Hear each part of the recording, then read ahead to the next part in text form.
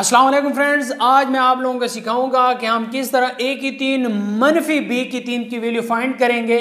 और ए की तीन मनफी बी की तीन की वैल्यू या हमारे पास 200 आएगी, या 230 आएगी, या 250 आएगी। सो इस वीडियो को आखिर तक देखिएगा और आपने गैस कर लेना है। अभी आप कमेंट में बताएँ कि हमारे पास ए की तीन मनफी बी की तीन की वैल्यू इन तीनों में से कौन सी आएगी। ठीक हो गया? अब हम इस क्वेश्चन को सॉल्व करते हैं कि हमारे पास कौन सी वैल्यू आती है। हमारे पास ए मनफी बी की वैल्यू पाँच है और ए बी की वैल्यू सात है। इधर अगर आप देखें तो ए मनफी बी की पावर तीन बराबर है। ए की तीन मनफी बी की तीन मनफी तीन। ए बी इंटू ए मनफी बी हमारे पास ये फार्मूला है। दोस्तों, इसमें ए मनफी बी की जगह आपने पाँच पुट कर लेना है। तो इधर आपने पाँच की पावर तीन कर लेना है।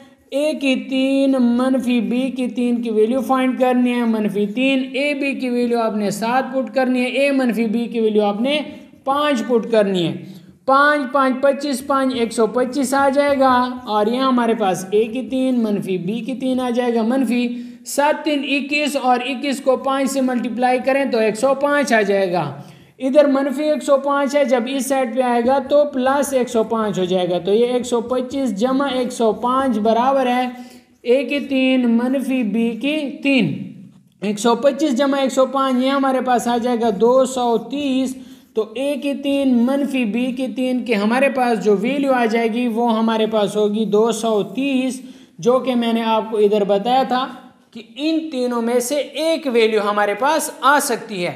दोस्तों अगर आपको वीडियो अच्छी लगी है, वीडियो को लाइक करें। अगर आप चैनल पर नए हैं तो चैनल को लाजमी सब्सक्राइब करें ताकि इस तरह की और भी आने वाली वीडियो का नोटिफिकेशन आपको बर मिल सके। अब हम एक और क्वेश्चन सॉल्व करते हैं इसी मेथड पर, क्योंकि बोर्ड के पेपर में इसी तरीके के क्वेश्चन और भी आ सकते हैं और ये मोस्ट इंपॉर्टेंट क्वेश्चन हैं। तो दूसरा क्वेश्चन भी लाजमी देखिएगा। दोस्तों, ये हमारे पास दूसरा क्वेश्चन है और दूसरा क्वेश्चन में भी हमने ए की तीन मनफी बी की तीन की वैल्यू फाइंड करनी है। इन तीनों में से एक वैल्यू आएगी, या अठानवे आएगी, या छियानवे आएगी, या चौरानवे आएगी। सो दोस्तों, आपने अभी से अंदाज़ा लगा लेना है कि इन तीनों में से कौन सी वैल्यू होगी तो कमेंट में लाजमी बता दें। यहाँ पर हमारे पास अगर ए मनफी बी की वैल्यू दो हो और ए बी की वैल्यू पंद्रह हो तो ये हमारे पास फार्मूला मौजूद है ए मनफी बी की पावर तीन बराबर है ए की तीन मनफी बी की तीन मनफी तीन ए बी इंटू ए मनफी बी तो ए मनफी बी की जगह आपने दो पुट कर लेना है तो ये हमारे पास दो की पावर तीन आ गया है, और ए की तीन मनफी बी की तीन हमने फाइंड करना है.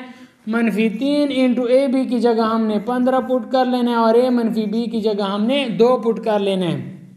इधर हमारे पास आ जाएगा आठ और ये हमारे पास आ जाएगा ए की तीन मनफी बी की तीन मनफी। तीन पैंतालीस दोने नब्बे तो ये हमारे पास कितना आ जाएगा?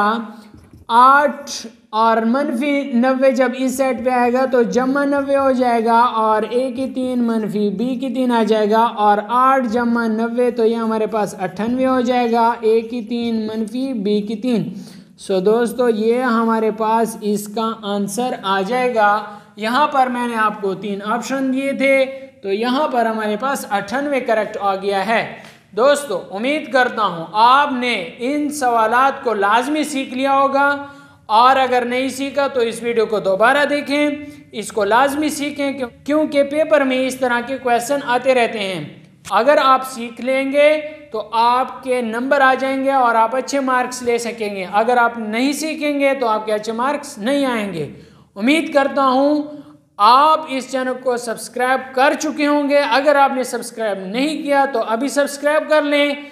अगर आपने अभी तक वीडियो को लाइक नहीं किया तो वीडियो को भी लाइक कर लें और अपने दोस्तों, फैमिली मेंबर के साथ लाजमी इस वीडियो को शेयर करें। Thanks for watching.